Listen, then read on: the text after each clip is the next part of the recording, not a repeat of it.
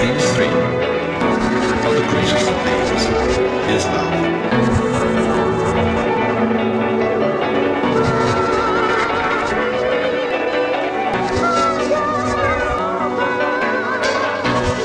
Of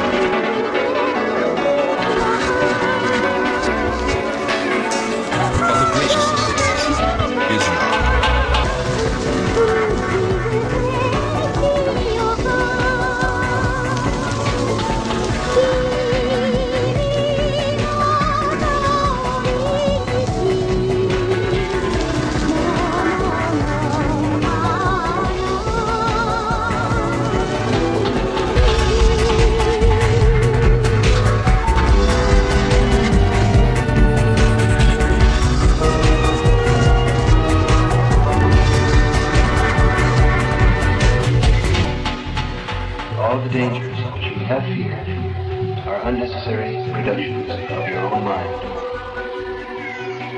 Whether you experience heaven or hell, remember that it is your mind which creates